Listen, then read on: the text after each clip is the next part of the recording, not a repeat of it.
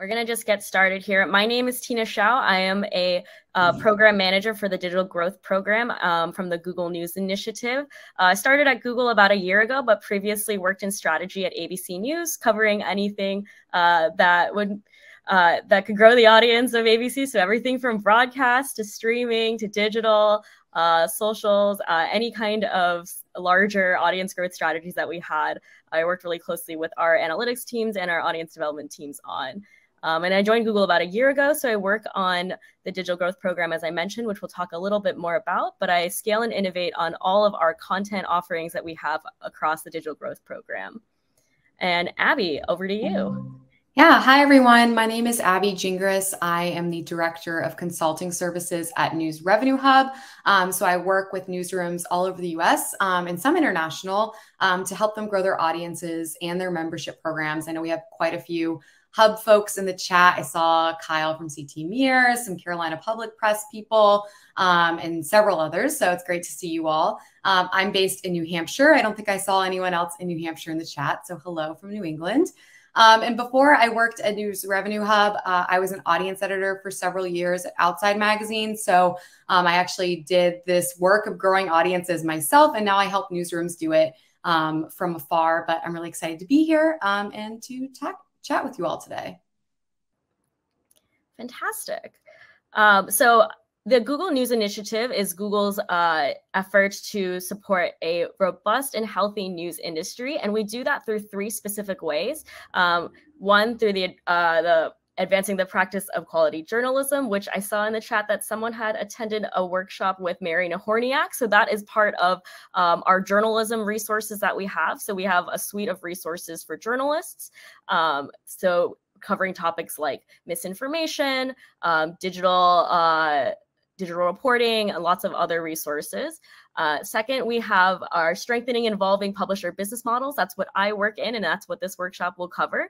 And then lastly, we have building a collaborative and global news community. So as I mentioned, um, we're here today to talk about evolving uh, publisher business models, and specifically uh, through the Digital Growth Program. That's the program I'm on, we have free training, consulting, and support to help news, uh, small and medium-sized news organizations succeed online. So I'll share a number of uh, links and other resources that we offer through the Digital Growth Program. And if you ever have any thoughts or ideas, feel free to, um, I'll share my email at the end of the workshop and you, you'll be able to follow up. I also want to share that we have a free Google Analytics add-on tool. So this is for my audience development friends and uh, in, that are here today. Um, if you have Google Analytics, this is one thing that is not quite known about Google Analytics was that it was built for advertisers and not publishers.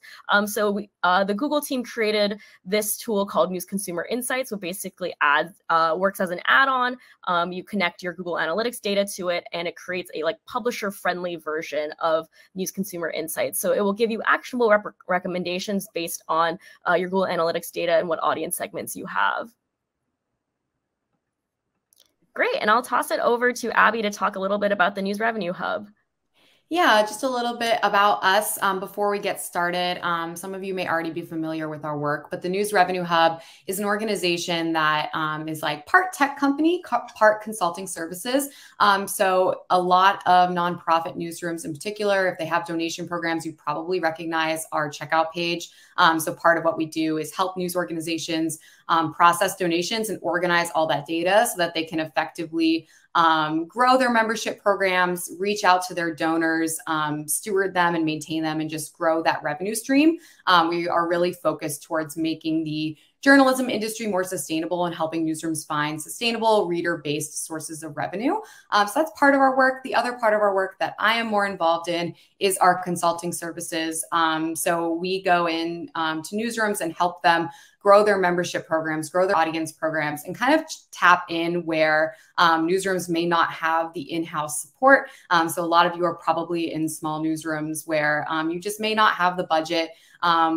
Currently or or maybe you will in the future for like a full audience team or a full membership team. Um, and so you may not have someone in-house who can be dedicated to focusing on search traffic or focusing on fundraising 24 7 um, so we come in and help newsrooms do the things that they may not be able to do currently without us. Um, and our goal is really to um, teach newsrooms so that eventually they can do those things on their own. Um, they're able to hire folks and they feel set up for success um, and so that's a little bit about what I do and why I'm here with Tina today.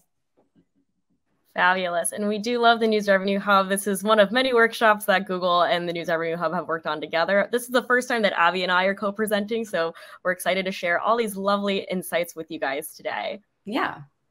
So before we start, we want to know from you guys why you attended this work, why you chose this workshop to attend, but in general, why you want to grow your audience. Um, so I'm going to launch a poll here in the chat.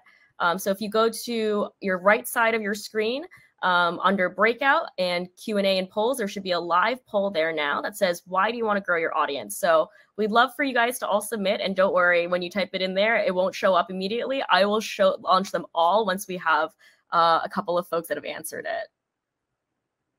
On the right here we have we provide really good information about navigating healthcare. More people should know build more donors become more effective at getting the news to an audience top of funnels become more difficult than ever, especially to get the right readers, um, become an authority on our niche topic, demonstrate to our investors uh, they're reaching disconnected citizens, getting more donations, no better measure of meeting our mission, share our journalism with as many people as possible, increase revenues, um, change thinking about civics and sustainability, promote societal change, help more people better understand uh, sustainability, more access to high quality in-depth reporting, grow the impact of our journalism.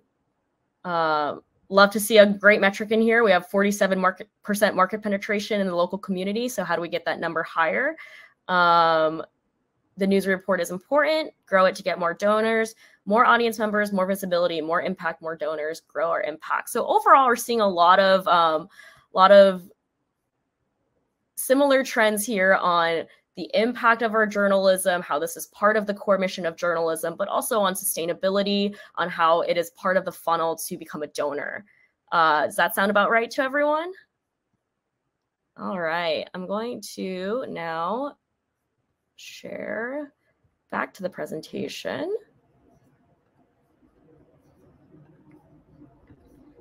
All right. So we talked a little bit about why you guys want to grow your audience specifically, but I think one of the hardest things when it comes to uh, growing your audience is specifically what the different steps to actually getting there are. And so Abby and I are going to walk through a couple of different uh, ways that you can grow your audience, but I want to frame that in the larger picture of the overall strategy that you guys are implementing as part of your newsrooms. Um, it's really challenging a lot of times to know how you guys are doing, or specifically, like uh, we have a lot of publishers at the Google News Initiative that will come to us and say, "How do I how do I know I'm doing good? How do I know that this metric is right or that I'm on the right track?" Um, so part of that is the first step in our how to grow your audience, which is the scoring. So we have a tool uh, through the Google News Initiative called the User Funnel Diagnostic. And basically what this tool does is it is an aggregate of ben- of industry benchmarks that we've gotten from our work with thousands of publishers and diving into that performance will help you guide your next steps. And so basically this tool is geared more towards reader revenue. There is specific metrics that we have for donations as well um, but it the first part of the metrics that we have are for audience development specifically. Um, so it compares your performance against other publications with uh, uh, across 11 different metrics. So what you'll do is you'll add your publications data in across all those metrics, and we'll cover the metrics in this session as well. Um, you'll then see how you compare against your region, uh, specifically in North America, and then you'll get a scorecard. And that scorecard will also give you a list of tactics um, to uh, to give you some advice on how to and actual recommendations to actually make those uh, metrics improve. Um, so what that will look like, here's an example of a scorecard. So what you'll see here is that uh, you'll get either a green, a yellow, or red, depending on how your uh, metric lines up with the industry benchmark. So if you're over 10%, you'll get this green dot. Um, if you're within 10%, high, low, you'll get a yellow dot. And if you're less than 10% below, you'll get a red dot. And so it doesn't necessarily mean that any of these are good or bad. It's mostly just where you are sitting relative to the industry. And so this can also help because uh, this is just a way for you to grade your own performance, right? If you want to focus on one metric in particular, you can say, oh, well, the ones that I'm in red, I want to make sure that I'm at least meeting the industry benchmark in. So I will drop the link for this tool in the chat, um, and I'll also include it at the very end of our presentation. Uh, but when you go deeper into the metrics that you specifically have, it will also offer tactics and ideas on how you can improve that metric. But great. So let's say you go through all of that um, and you get to your your next step here, which is selecting. So choosing which metrics to focus on. Um, so there's a lot of metrics that you can look at in the audience world. So the real question is which metrics should I focus on? So when you talk about growing your audience, there's really two categories that you're probably saying when you're saying you're you want to grow. You either want to grow your new readers or you want to grow the loyalty of your current readers.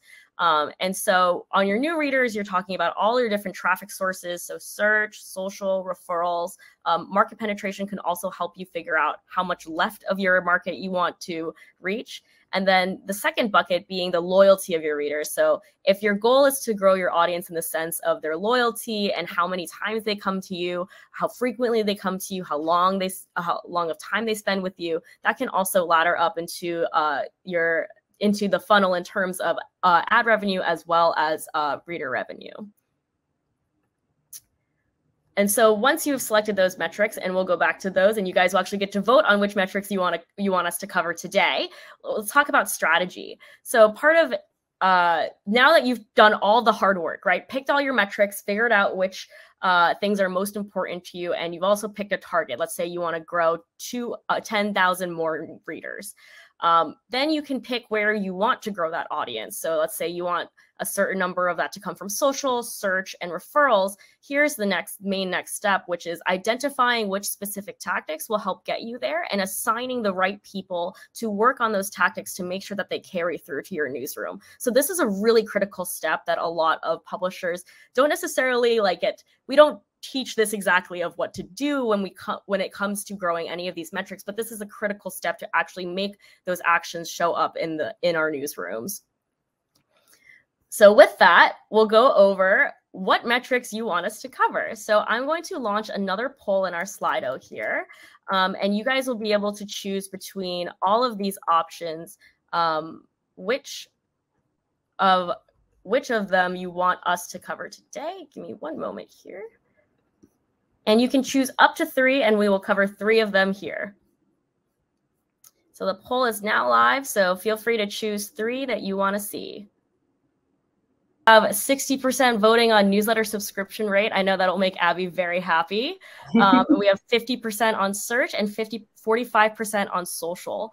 Um, so now I'm going to toss it over to Abby to cover um, newsletters, and I'm going to work in the background very quickly to put together this deck for you guys uh, that we're going to cover here today. So let me just share my screen real quick for Abby. All right, take it away.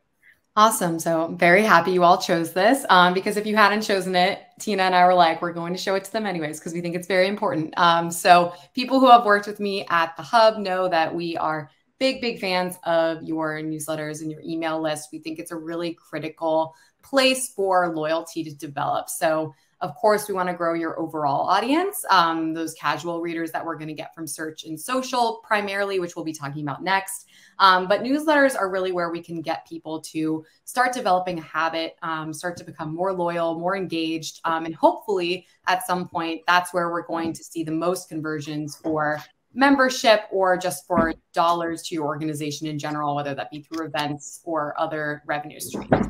Um, so your newsletter is really, really critical. Um, and it's like the, one of the only audience places where you have a direct connection to your reader, right? Like through social or through search, they might be finding you by happenstance.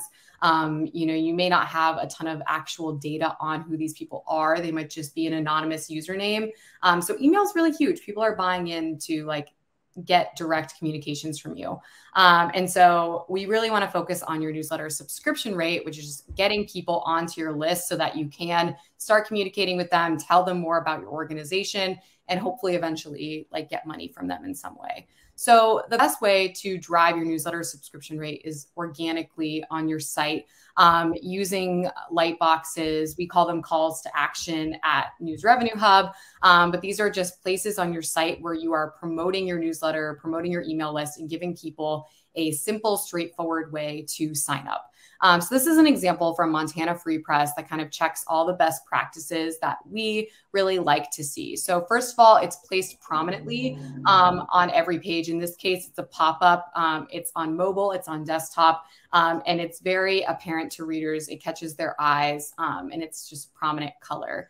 Um, you'll also note that it's descriptive. So you can see in the description of this call to action um, you know exactly what you are signing up for as a reader. There's no ambiguity in terms of what emails you're going to get, how often you're going to get them as a user. I know exactly what I'm signing up for. Some people might be okay with a daily newsletter, other people may not be. Um, and so you want to make sure they know when they're signing up if your email is every single day, multiple times a day, or if it's just once a week, so they can know what they're signing up for.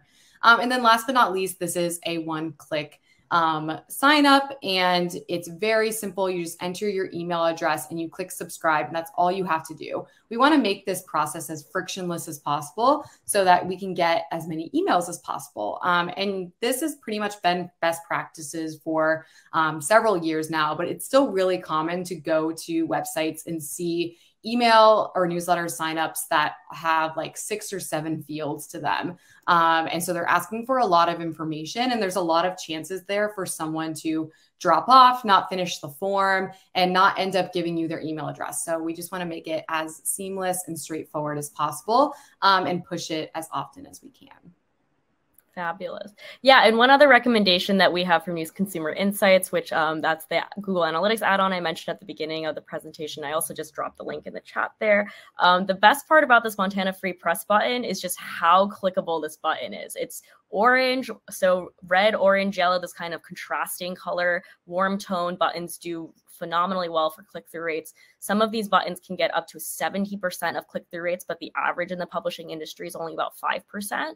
Um, so making sure that you're following those best practices, as Abby mentioned, um, is really important to getting folks to actually click through on them. The other small, two small things that this button also does that's really great is that it has rounded edges. It's a little hard to see in this presentation, but that also makes the button a little bit more attractive. And the second is that using just one word strong call to action. So something like subscribe, join, um, something that is very short and specifics. Uh, there, you'll be surprised how many buttons you'll see where there's a lot of text in them. You want to make it super clear what the what the reader is going to get. And we have a question here from Jessica. Is it better to make it one click but not allow people to opt into specific newsletters or let people pick specific newsletter segments? Yeah, so that's a great question, Jessica. Usually you can have a page on your website that's kind of like a newsletter, like landing page or center almost, where people could opt into multiple newsletters. For these kinds of calls to action that we're talking about, typically it would be like one per each newsletter product that you have. Um, so this is directing people to a specific newsletter from Montana Free Press, but um, you might have multiple. Um, so maybe you have a daily news newsletter, um, and that call to action shows up on news articles. Um, but maybe you have another one that's like an arts and events newsletter, and that shows up on arts and events pages. So um, we try to kind of like tailor them to specific newsletter products. but then definitely you can have like a landing page on your website. You can have preferences center in your email service provider um, so people can sign up for multiple things. Fabulous. And Mary asked, do you recommend separate audiences for donors and readers? We don't typically. Um, with our technology, we can kind of filter out donors from readers if we want to communicate to them in a different way or send some some messages and others not send the messages. Um, so we have them all in one audience, but segment them out. Um, if you don't have the capability to do that, um, you may want to have them be separate audiences. But typically, we try to just have like one audience in your email service provider that has everyone, and then you can use we use MailChimp. So it's like groups or segments to kind of split people up that way, but they all exist under one audience. Yeah, and one thing that we've seen publishers do uh, really well in is to also offer member specific newsletters. So, newsletters that you could only get by subscribing. This is actually a really big part of the Atlantic's overall membership strategy. So, that is also another offering that you can uh, you could have as part of your membership program if you have one. And Abby, give me your advice on experimentation. I know that like uh, how do I know that it's a 50% light box, it's a 25% light box? How do I know what works best? Yeah, absolutely. So this is, like I said, um, I think this design from Montana Free Press is great. It kind of follows all of our best practices. Um, I'm not sure when they set it up, but I would say, let's say Montana Free Press set this up this month. It's probably doing really well for them because it's new. Um, but if you have the same call to action on your site, for a while um, people who visit you regularly are going to have you know some blinders on they're going to get used to seeing that little pop up in the corner that they immediately x out of or whatever it may be um, so i encourage you to regularly test and change things around on your site um, some different things you can test is like the design and the location of calls to action. You can test, um, you know, different button colors. Like Tina was saying, like you know, we typically advise like a warm action color, but maybe your readers respond to like a hot pink um, button rather than a red button or something like that. So there are so many things you can test from language to how frequently the call to action appears if it's a pop up. Um, and so sometimes just changing it up um, can boost your list growth. Um, but we encourage you to just test and test and test um, to see what your audience best responds to. And then make sure if you've had something up for a while, um, it might be getting a little stagnant. So maybe try to change it up um, at least every few months just to make sure that you um, are constantly re engaging readers who are visiting your site regularly.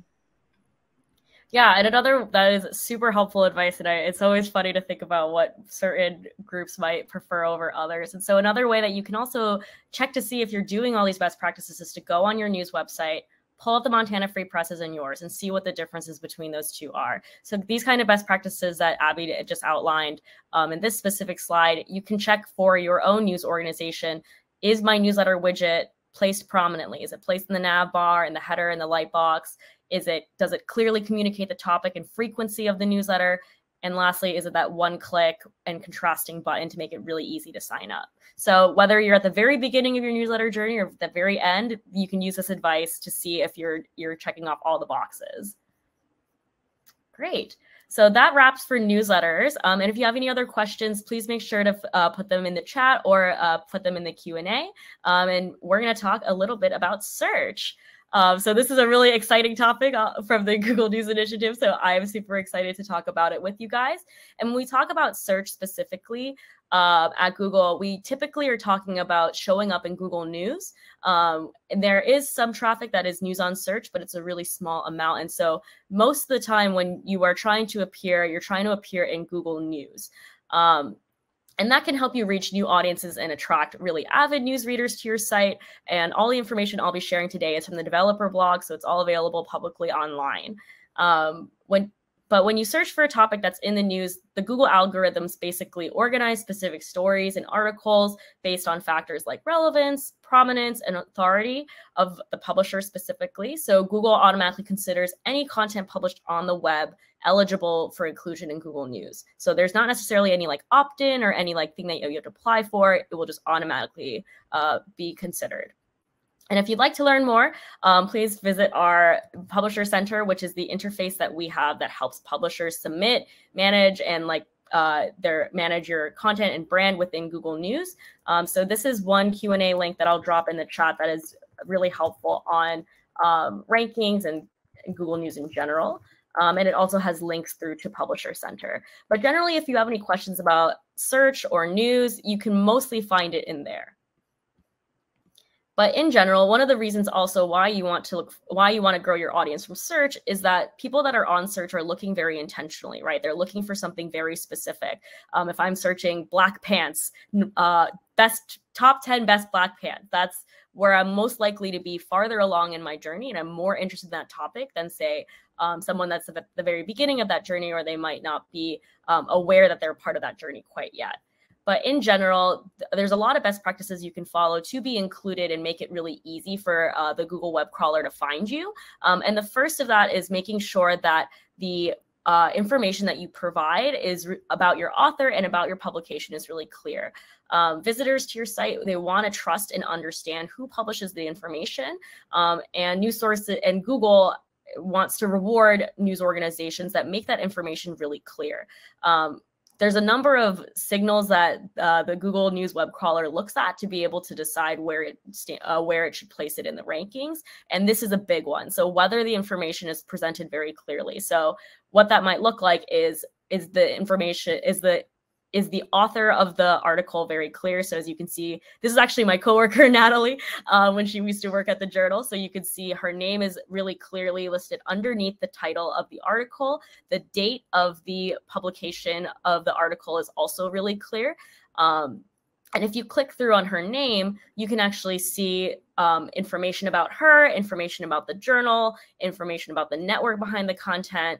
Um, and you and that is one of the best practices that we can advise because again making sure that all that information is super clear and upfront as well as a way to contact um, the publisher so in this case you can't quite see it too much but there's a little uh, little envelope button underneath Natalie's profile. So there's a really clear way to communicate. These are all signals that Google looks for to be able to determine whether this information is really clear and transparent.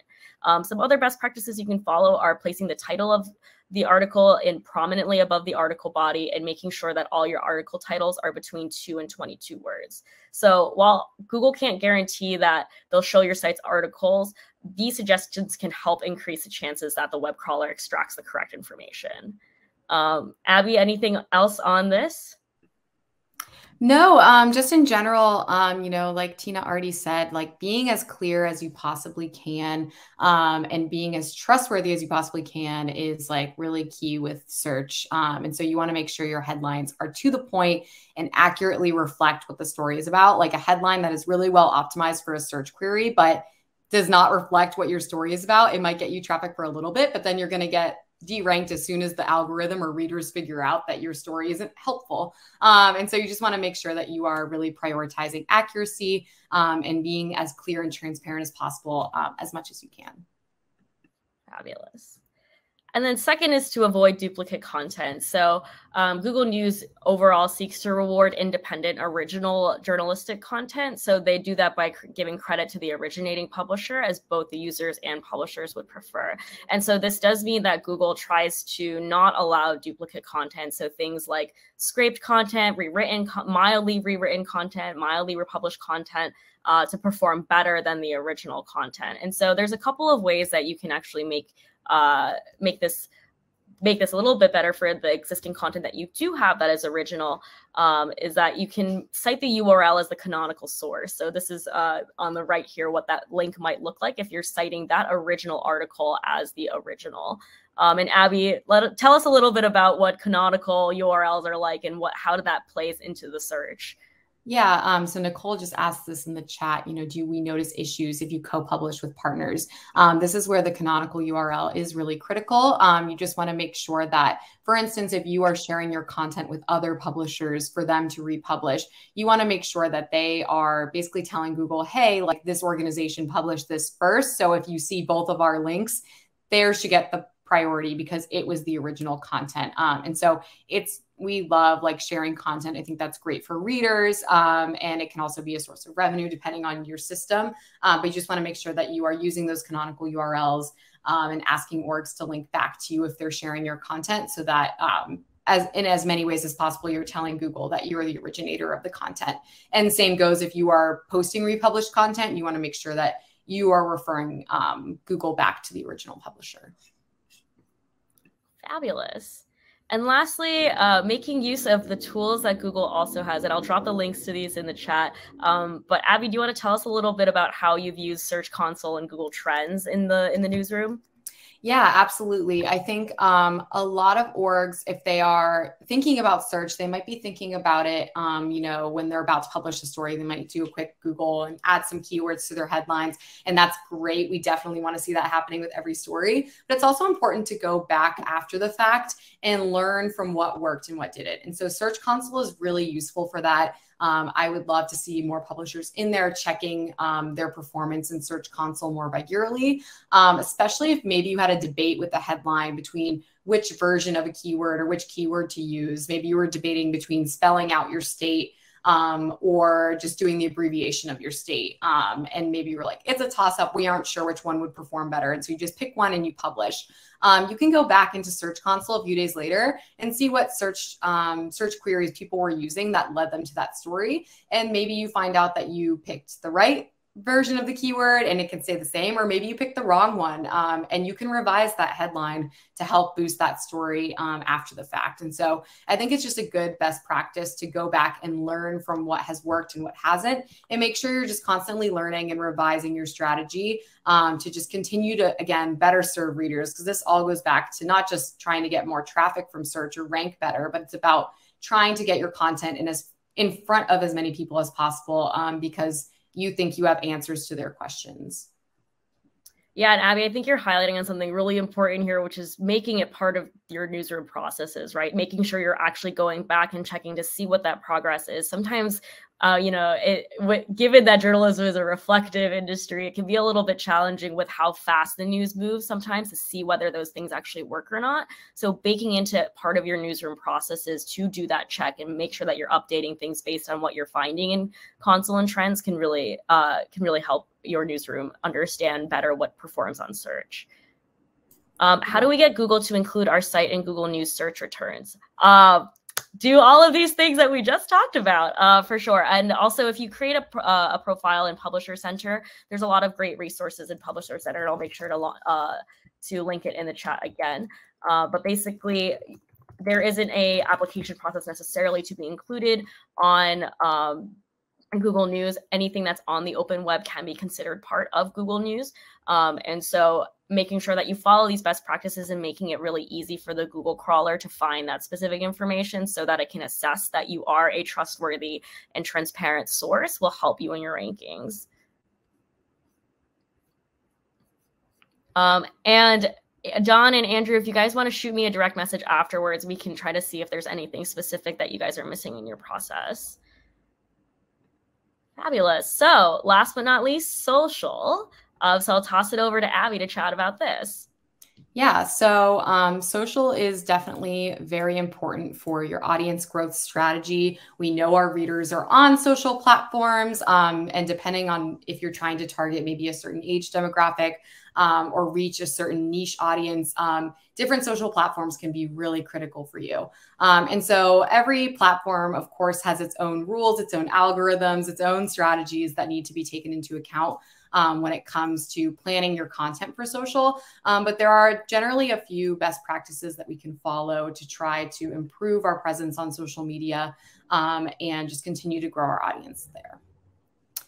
So first and foremost, we want our content to be engaging, of course. Um, we want that on our sites as well and in our newsletters. Um, so we want to make sure that we are using engaging formats on platforms and catering to what those platforms are currently interested in and pushing. Um, and so this is kind of the downside of social media, whereas like search, the the things that work have been pretty consistent over the years. Um, with social, as we know, the algorithms are always changing. Um, Facebook or Meta, I guess, would decide that we want to do something different with Instagram now. And so they might be prioritizing video or stories over static photos. Um, and so you do have to stay kind of up to date on what the different platforms are promoting at this point. Um, this screenshot or GIF is an example from the New York Times. It was a story that they used, and I think it's a great example of being really interactive and engaging on different fronts. So you can see that it's dynamic, it moves, it has links um, further into the story. They had a poll for readers. Um, and so they were just really engaging in multiple different ways um, and just trying to capture attention as much as possible.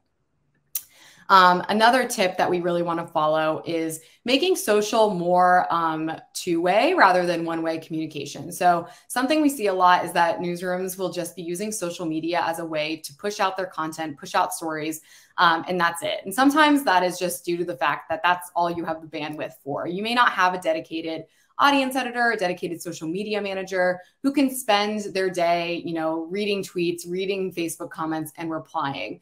Um, but since social traffic can be so variable, you may have less control over it. Um, what you do have control over is that two way communication and using every social post as an opportunity to engage with readers, to build their trust, to answer their questions, and to see what they're passionate about. Um, so this is an example from the Oaklandside where they, you know, had done a typical tweet from a news organization status with a story link, um, and a reader had asked a follow up question, and you know they took that opportunity to answer and, and give them with more information. Um, and so yes, that's one reader. That's only one tweet in the scheme of things. That's not very much, but that reader probably trusts the Oaklandside just a little bit more. Um, other readers probably saw that interaction and it improved their um, perspective of the Oaklandside. And so, any of those things that you can do um, to just engage with readers and make those platforms more about engagement um, will only serve to help your organization. And then um, last but not least, if you want to click next, um, we want to just make sure that we're matching our time and our resources to our goals. Um, so if you are regularly in your analytics, um, you probably have a good sense of where your traffic comes from.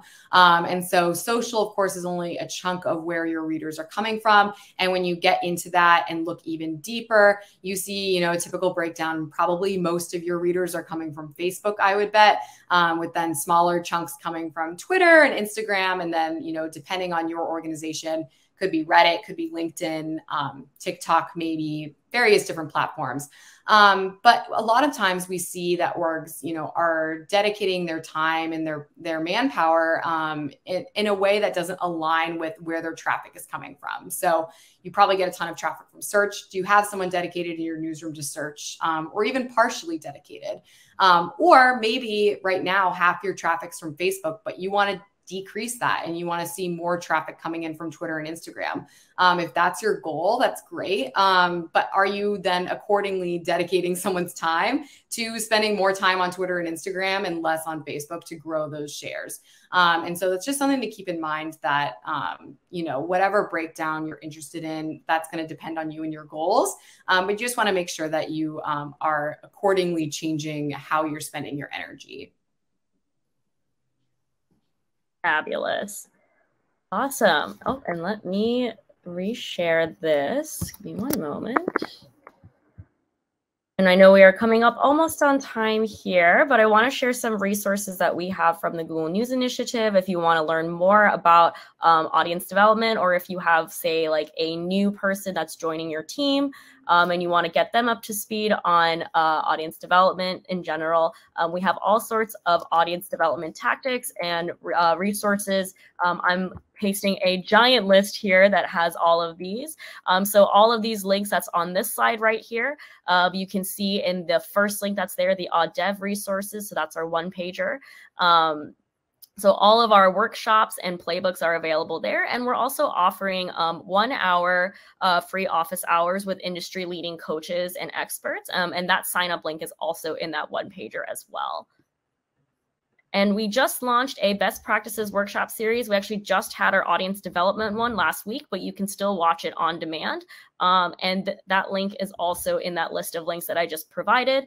Uh, but basically, those are just success stories with uh, publishers that we've worked with across audience development, reader revenue, ad revenue, product and data. I will be hosting the product one in a couple of weeks. So if you like this workshop, you can definitely join that one, and it will be it will cover many similar topics since the first part of product is audience development. Um, Tony asks, is there a certification for this topic? Um, so if you follow uh, those aud dev links that I just shared, that first one there, if you go to our workshop series, if you watch all three workshops in the series um, and then shoot an email to the email that's listed in there, I think it's GNI Digital Growth Program at, at google.com, um, you will actually get a certificate uh, uh, for completing that course.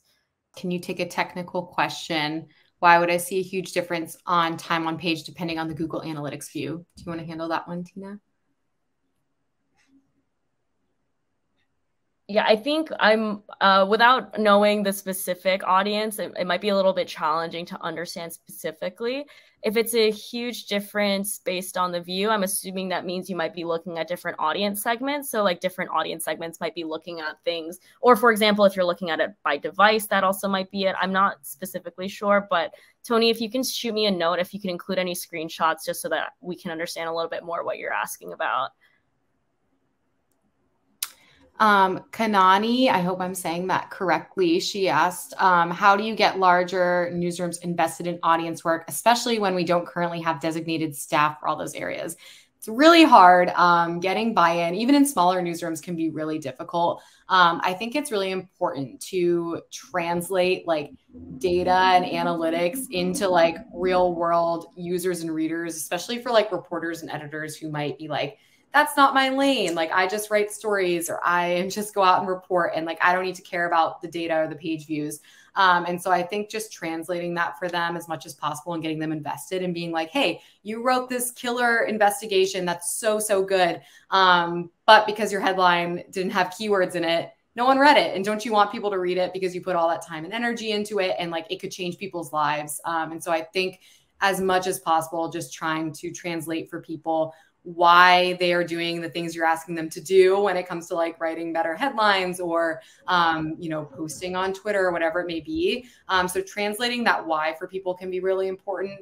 Um, also i've seen sometimes incentives can help. Um, so i used the example of montana free press earlier. We did um, seo work with them last year where we helped them you know figure out um, a new workflow to start brainstorming and workshopping headlines for every story. And something that helped them get buy in in their newsroom was doing like a monthly contest where they had like an actual gift card that they gave away to the person who had you know that they determined to be like the most participatory in workshops or the most helpful or the most engaged. Um, so that was like a fun way that they got buy-in from their whole newsroom. Um, so sharing the why um, getting people engaged in fun ways. Um, and then i think you know celebrating wins with folks letting them know that that headline that they spent time workshopping translated into that story reaching more people. Um, so letting them know that their work is paying off um, and that there's a reason that you're asking them to do those things can really help yeah, I love that point on celebrating wins. I think that's such an important one. When I was at ABC, um, we had a Slack channel called Wins, and so every time, like someone, exactly to what Abbey was saying, like if they workshop the headline and it resulted in an increase, then they would post it in that Wins Slack. And so it was also worked as a way of like documenting all of the different ways that people were testing things or trying things to get new results. Um, and I think especially given how fast news cycles can move sometimes, or how much work really just goes into how uh, each article just taking that time to celebrate all of the different work that's being done to make that final product and really uh, really encourage that overall uh, audience centric newsroom.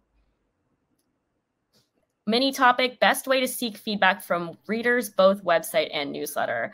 Um, so uh, one thing that was interesting from our product lab we had a publication uh, inside higher ed. So they're a uh, a small publisher that is focused on uh, higher ed professionals specifically. And so they actually sent out a newsletter ask um, just uh, asking whether people would uh, fill in a, a 10 question survey that they had. And they were shocked to receive like 2,500 responses within a week. Um, so I think one thing that I'm always uh, I'm always surprised by with uh, newsrooms is just how much your audience really does want to help you and advocate for you and do things with you. And all you have to do is ask. But a lot of times, um, you know, especially our newsrooms don't always ask audiences directly. And so making that ask is really important.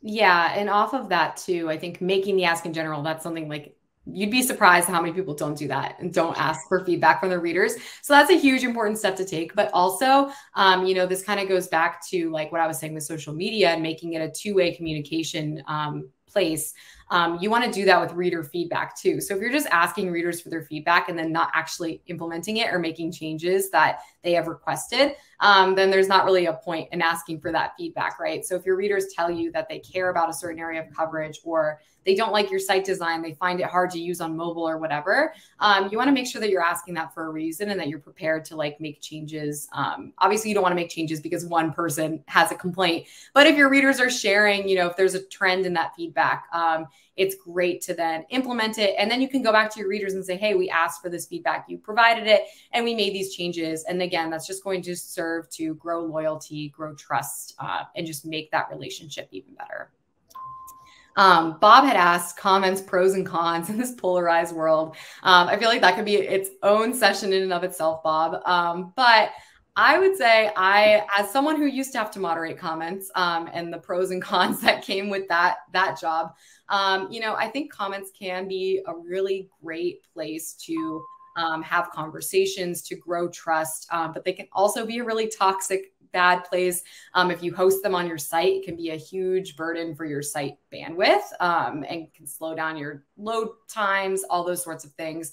Um, I would say, like, my main caveat for comments is like, if you are going to use them either on site or engage in them on social media and other places, you need to be prepared to moderate them um, and make them a non toxic place. Um, and I think that's something that a lot of orgs, um, you know, didn't used to do, still don't do, don't have a great moderation strategy, don't have someone dedicated to be in those comment sections all day. Um, and that's really what it requires. So I think if you are thinking about comments, um, I would say they can be really um, interesting places, but they do require that moderation.